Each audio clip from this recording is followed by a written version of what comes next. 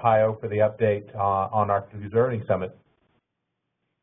Uh, thanks, Jeremy. Actually, I'm I'm muted by a cold, um, so Sarah, if you could do something about that, I'd I'd actually very much appreciate it. I wish I could. Um, do you want to advance your own slides, or would you like me to do that? I can at least no, do that for you. If if you could do that for me, that that would make things a bit easier. Um, All right, so, got it. Um, just a brief opportunity for an update. It looks like people on the call here are mostly familiar with Arctic Observing Summit. Uh, the next slide shows the uh, the schedule uh, for for those uh, um, 10, 12 days. As you're aware, you know we've got the Arctic Science Summit Week, um, we've got the Arctic Observing Summit, and then Senior Arctic Officials Meeting, uh, all taking place more or less at the same time. And and what we're trying to do, and I think we're making good progress in, in getting to that point, is to be sure that there's good communication and, and cross-fertilization amongst these different groups. With the uh, Tuesday, 15th of March International Arctic Assembly uh, serving as a, as a way to bring everybody, um, senior Arctic officials, Arctic Council working group leads, the research community, early career researchers and students involved um, with activities like the Model Arctic Council, folks from from the uh, uh, or, or, representatives of different stakeholder um, groups or organizations and, and, others into the same room. Um, so that's Tuesday. That's going to be followed by a banquet for, for all of those participants. So that, that should be a great start to the Observing Summit itself. And so the next slide is, is just a brief um, recap of the, uh, of the overarching goals of the, of the summit. Again, you're, you're probably all familiar with this. Um, so both serving um, as a um, as a forum for coordination exchange between all of those groups who are involved in sustained Arctic observations, um, uh, while at the same time uh, making progress on on how this would be moving forward. Next slide uh, gives you um, a uh, uh, sort of additional motivation for this. This is uh, from a few years back, but basically the question is, well, why, why, do we why do we need something like the Observing Summit and and uh, this analysis that Olivia Lee and a few of us have had done of sustained observations in the uh, in the U.S. maritime Arctic, shown here is, is just the Chukchi section, um, indicated that um, we, we've got this interesting mix of different entities who are carrying out sustained observations and just as a um, uh, point to make is, of course, the industry proportion of this um, of these sustained observations now uh, with with Shell pulling out of the Chukchi Sea is going to decline, um, you know, significantly. But at the same time, it's not going to go away completely. There are a number of other activities underway uh, that are relevant, both on the oil and gas uh, side. But you may be aware that actually uh, as as we speak, preparations are, are underway to lay down a fiber optic cable that actually cuts through right this area, and there's going to be some level of, of activity associated with that. Um, what's what's actually going to increase um, and and already has over the past few years are uh, sustained observations by foreign countries in U.S. waters. That's still listed here somewhere around a fifth, that, that likely is now more on the order of a third of all observations. And so there's substantial need to um, ensure or, or, help make sure that all of these are, are uh, conducted in a way that both we, we have you know, minimal duplication and, and maximum uh, synergy from the observations, and that, of course, as importantly, data are accessible and, and that partnerships are in place to, to ensure that those who, who want to work with the data uh, actually have access to them. And that, that continues to be a challenge that we're hoping to make some progress on. Uh, next slide. Uh, so what I want to do is um, uh, just briefly um, review what, what we're expecting to come out of this and then um, highlight a few key themes of the summit. Um, and, and the idea being that I'm, I'm looking at the clock here. Originally, I, I had just put this in there, um, but it, it, looks like we have a bit more time, so I don't have to be too rushed. Um, so, in, in, with respect to products and outcomes, um, the uh, in addition to the uh, sort of core documents that we expect to come out of the summit that, that are going to be specific with respect to action items, action plans, recommendations, with the audience for those being um, a combination of um, the Arctic Council working group, so we're very much interested in um, linking up with the various uh, working group leads and members that are going to be at the meeting, and I'll, I'll explain here in a minute how, how we're planning to do that. Uh, but of course, other other audiences include the private sector as well as um, other uh, uh, government agencies, including funding agencies. Uh, one one of the products of the summit that you can already access now are the close to 100 white papers and short statements that have been submitted by various uh, groups from, from, from the research community and other organizations. Those are available for review at the um, AOS website, arcticobservingsummit.org. And um, uh, in, the, uh, in, in the coming days, um, we will have synthesis documents uh, that essentially summarize key points from these white papers in the context of the six uh, themes of the summit that I'll, I'll, explain a bit more about here in a minute, posted as well. So those hopefully make them a bit more accessible. But if you look at those um, documents, they're actually quite quite interesting, give a good perspective on what some of the key key issues are. Uh, next slide, please. Um, yeah, we. Get, I mean, this is just uh, again organizing committee. You can pull up the next slide already. Um, uh, just to give you perspective on, on who's involved. Uh, this here is, is an organizational chart, um, and uh, really all this is meant to illustrate is that um, both one of the strengths, but of course also one of the challenges in organizing a summit like that, which, which is both a combination of bottom-up activities by various um, uh, research groups or organizations out in the field, if you will, and and others who are who tied into larger national international programs and organization structures is to make sure that there's good connectivity and we see the both the white papers participation in the summit as well um, and some of the some of the ways in which there's been outreach to parts of the research community and, and key stakeholders um, as an important um, part of this this this whole structure. What you see here as well are the six um, six themes of the summit. Uh, again, I'll, I'll, review these here briefly in a minute. Um, and um, uh, in this case, they, you know, we, we've tried to link this also to national efforts that are relevant to IARPC.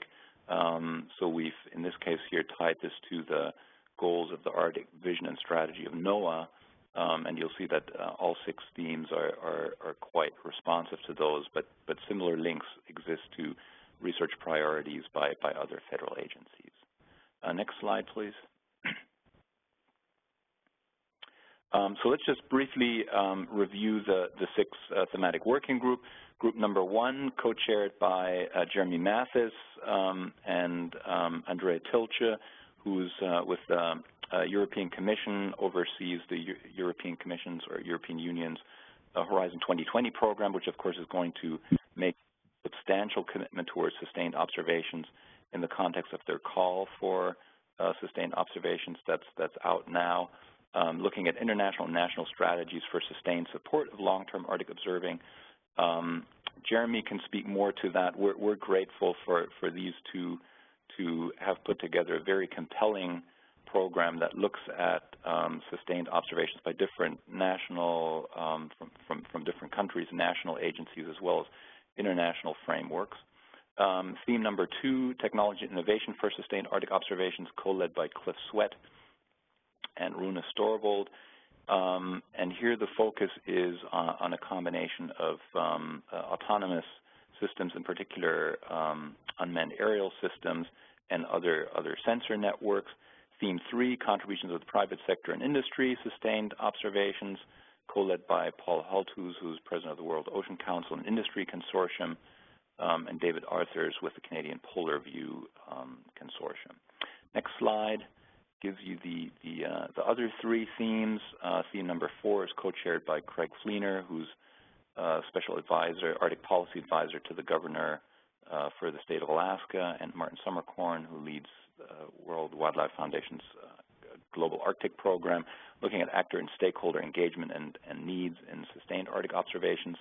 Theme 5, um, links to Arctic observations in the context of global observing initiatives, co-led by Dominique Barrault with, with the WMO and, and the Group on Earth Observations, and Hiroyuki Enomoto uh, with the National Polar Research Institute in Japan. And this, um, this theme in particular is interesting because we, we will have, one of the goals of the meeting is to, to better link um, the, the uh, activities in the Arctic to international programs. And we'll actually have a keynote address from uh, Barbara Ryan, who's, who's director of GEO, who will be there. Um, we're looking forward to also hearing from other uh, national agencies uh, on this on this theme. We have um, uh, Stephen Volz, who's NOAA Assistant Administrator uh, for for satellite programs and head of NESDIS, who's, who's going to be giving uh, a keynote lecture, and we'll have the director of the World Climate Research Program there as well. And and this group in particular, I, I think, has has put forward some interesting points on how to better achieve those those linkages. And then theme six um, is uh, co-chaired by Raychelle Daniel um, with Pew uh, Foundation, Lena Kielsen-Holm with, with the Green Environmental Institute, and Rod Lang with the Nunavut government in Canada, is focusing on interfacing indigenous knowledge, community-based monitoring, and scientific methods. Um, and the next slide, I just wanted to give you a brief flavor of, of what some of these themes have lined up, and then I'll, I'll, um, I'll um, I'd be happy to take any questions. Um, so theme three is um, the focus there is to find and identify uh, actual frameworks for industry or, or private sector public um, uh, partnerships with respect to sustained observation and data sharing agreements. Uh, the World Ocean Council has a, has a has a Vessels of Opportunity program, and the idea is to see how that can be expanded into the Arctic and used not just in the context of vessels of opportunity, but really platforms of opportunity, including on land. We're hoping to have um, um, a good discussion uh, that that'll include folks from industry who are looking at the um, Alaska Liquid Natural Gas Pipeline. That that in some ways you can think of as as potentially a, a great platform of opportunity for sustained observations. Um, we'll have um, participation by by the fisher fishing industry. Um, they, of course, have have programs that um, collect data um, on on their vessels, and it'd be interesting to see, in particular, how the partnership that, that the fishing industry in, in the U.S. has with NOAA with regards to handling of those data, that may actually have some some important lessons. So, so it'd be interesting to see um, how how these different programs may be, may be implemented on, on a larger scale. And of course, from the fishing industry in particular, there's significant interest um, with the uh, with the moratorium that was um, agreed upon by by the Arctic coastal states last year in the context of, of um, Arctic Council negotiations.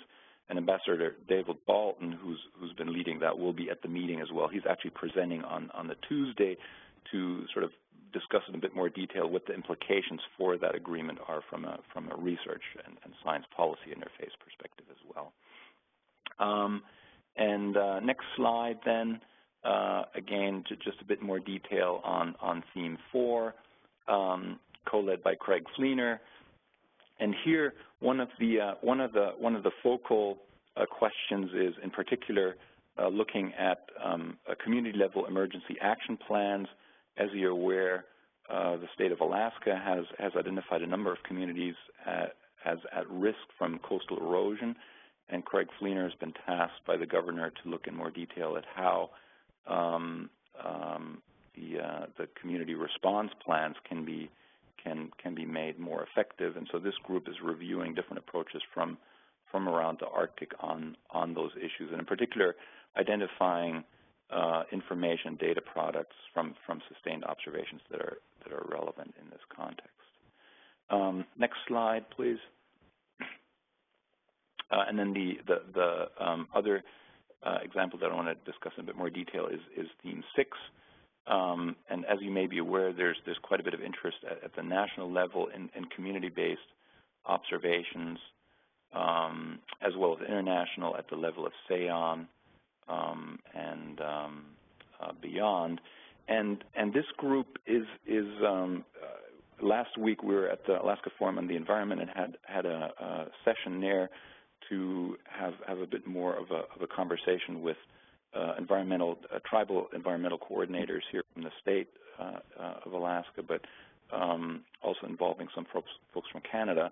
And and this is going to be an interesting uh, interesting theme because it it um, all these themes are are basically going to have three individual breakout sessions at the summit where where the um, the, the, the program for these individual themes combines a combination of, of, presentations from white paper authors, discussion of some of the key recommendations and action items that the group leads are working on, and then um, in, a, in, a, in a fourth session that will be cross-cutting across all the themes, there's going to be more of a conversation about how these different themes are linked and what, what are overarching uh, concerns or, or uh, goals that, that one would want to address. And clearly this, this theme here lends itself to that. This, this group is, is involving a number of, of indigenous peoples organizations and permanent participants as well. And it's, it, it looks like the, the, the summit, because it's being held in Alaska, because we anticipate strong participation by indigenous peoples representation from represent from, from a number of Arctic countries, including Russia, um, it'd be interesting to see what this group uh, comes up with in, in regards to what, what, are some of the concerns by um, indigenous peoples, First Nations, uh, Native Alaskans, um, with regards to research um, in, in the area, and, and, what are some of the things that can be done to uh, address those concerns. Um, so I think um, if, if, you go to the next slide, that, that, that was basically all I had. Um, yeah, this is just uh, uh, for you to review where, where, where, to get more information. Um, we're, um, the, the, the, broad agenda is up on the website, and, and we um, plan to have the detailed agenda for the 24 individual breakout sessions up here very soon as well. It's, it's been both interesting but also a bit challenging making sure that these different breakout sessions uh, nicely complement one another. We have some speakers that are actually cutting across these sessions um, to help foster uh, conversations across across the different themes. And so that's something that we'll um, we'll be refining here in, in, the next couple of weeks. And uh, that, that's basically it. Be happy to take any questions.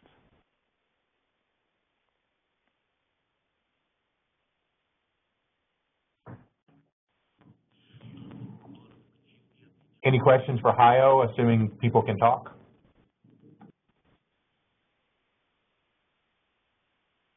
Um, Hajo, this is Sarah. Thank you for that really great presentation. It really, um, uh, it, it, it, seems like a presentation you should give at the start of the summit, so so people know know what they're there for and what they're in for.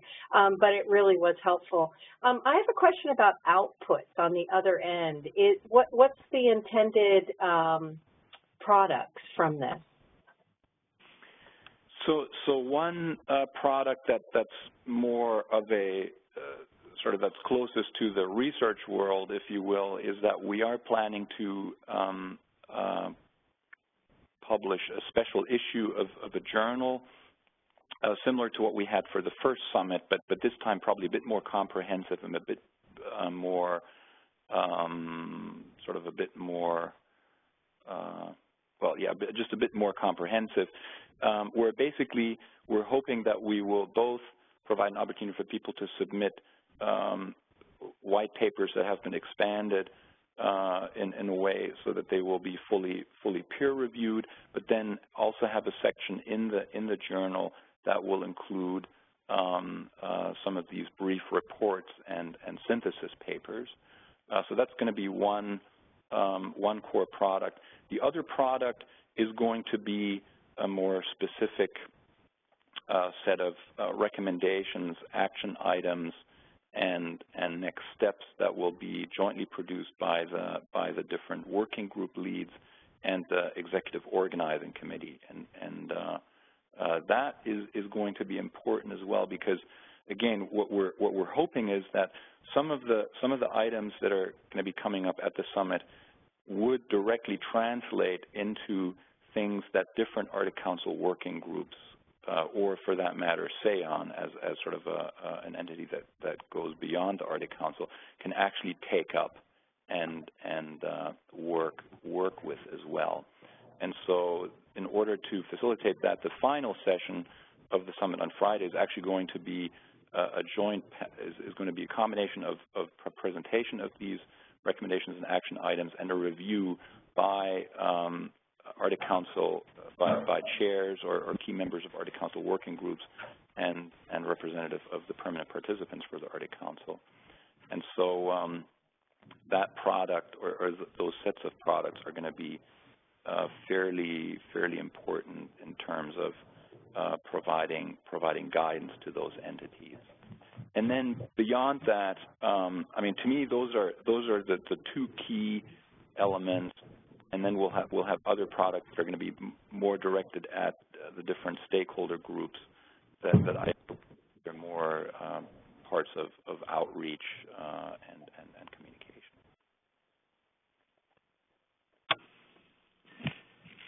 Hi, uh, this is Renee. Can you hear me? Uh, yes. Uh, so I, am glad you answered, um, um, provided that information because that did answer my the, the main part of my question. But I think this would also serve, since Sandy just presented on the IARPC um, uh, uh, reorganization, the, the, the, plan, the new plan, I would certainly think that this would feed the recommendations coming out of this uh, uh AOS would certainly feed into that process, but also the ongoing efforts within the national strategy for the Arctic region, you know, the White House uh, Arctic Executive Committee. I would certainly think that would be very beneficial uh, in that respect as well. Yeah, thanks. Thanks for that, Renee. Those are those are those are good points, and I, I, I should point out. I mean, I'm a bit fuzzy today here, but you, are right. I mean, the uh, you know IARPC or, or the potential for IARPC to harvest some of that material is is is significant. But then at the same time, of course, and that's why, why we're grateful for people like Jeremy and others who've, who've contributed already tremendously to the to the organization planning of this um, it's, it's through that work and through that engagement that we can be sure that different products are actually useful at, at the level of, say, IARPC collaboration teams or, or IARPC, IARPC in general. Um, so that's where both the work in these in these different breakout groups, as well as review of the uh, of the synthesis papers and then the follow-up work after after the summit is, is going to be important so that the um, you know the products are actually digestible. And, and one of the one of the challenges I, I see is that you know because it, it because of international involvement, you know, I, I think we we we want to make sure that we really push hard on getting down to specifics as well. For example, with you know with GEO. Um, uh, just reviewing some of some of the documents that that that the theme that focuses on, on links between global um, observing initiatives and, and the Arctic has has put together. That looks very promising, but at the same time, um, you know, being very specific about how these links would actually be implemented or what the specific programs would be that that create that linkage is is, is going to require a bit more work. This is um, Betsy in Anchorage, Betsy Baker. Um, first, Hajo had they had a great turnout at the Alaska Forum on the Environment, and I don't know, Hajo, if you want to say anything more about um, sort of responses there, but I sensed a great interest from a largely Alaska Native audience, um, and I don't know how that will translate into people actually attending. And then the other piece, is not so much product, but sort of preparation. And I at the forum there were copies available of the special edition of the Arctic from the last Arctic Observing Summit. And I would just really encourage people to take a look at that. Um, document also. I, I, think that it's instructive and a good reminder of some of the things that can come out of the, the next summit in March. Thanks, Betsy. Actually, one one thing, or I, I don't know, uh, Jeremy, I don't want to hog time here, but if can I, is, is there time to have a bit more of a response? Absolutely, Hajo. We've got uh, five more minutes, and we don't have anything else on the agenda, so go for it. Um, I mean, the one thing that that I find interesting and important is, and and and again, this is now just my personal perspective, sort of have, having having communicated with with some of some of the uh, folks from both from the Alaska Native community, but also because there's there's interest by Inuit Circumpolar Council and other other organizations. I mean, the one thing that I think is is going to be interesting to watch over the next few years is how uh, some of the some of the permanent participants in the Arctic Council and, and Indigenous peoples organizations are going to um, address and, and respond to what what we also heard in Anchorage at the uh, Forum on the Environment is is is this what what some community describe as you know pressure from the research community you know to conduct conduct research on on um, right. native lands and um, that, that, that, of course, is a very, very complicated topic, but I, I, I would encourage IARPC maybe even to, uh, you know, hear from, from some of those folks who would be more, uh, would be more, you know, better prepared to talk about this than, than I can. But, but my sense is that this summit in particular might be a good, good opportunity for, for anybody who's interested in those issues to catch up with, with people um, in, in the context of the breakout sessions but my sense is that, um, and, and, this is not just for Alaska, but, but certainly in Canada as well. You know, Canada ha had uh, this what they call the new Arctic research paradigm implemented a few years back uh, that required direct uh, communication and permitting of research projects by um, the um, by First Nations in in Alaska's in sorry in, in Canada's Arctic, and um, it, it, it's it's interesting. My sense is that there's a combination of, of, a bit of disillusionment um, by by folks in Canada about how how well that implementation has worked, but also a sense that there's a need to really address this issue well. And of course, in, in the U.S., you know, here it's going to come up again as as um, we we look at um, research vessels coming into into uh, U.S. waters, not just our own Sikuliaq, but also uh, you know foreign foreign country vessels and so, um, sorry, I'm, I'm, rambling a bit here, so I'll, I'll just stop short. But I, I, think this is going to be a very, very interesting um, conversation, and it's, it's early enough now um, that that engaging in that conversation, in particular for those who are representing agencies that that are, are working in uh, Arctic Alaska that require consultation with with tribal or, or local government, this might be might be something to keep an eye on. All right, thank you very much, Hajo. Do we have any other pressing questions at the moment? I want to be respectful of people's time and keep it to an hour. So uh, any, any other issues right now that we need to discuss?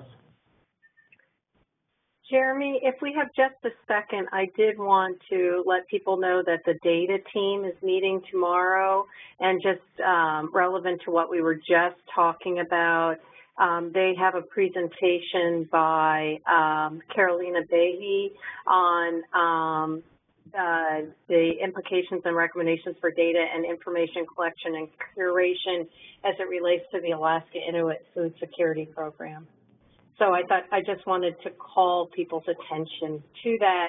And I do want to encourage the observing team to keep an eye on the events page because there are so many teams that are having meetings that have some sort of observing component to them.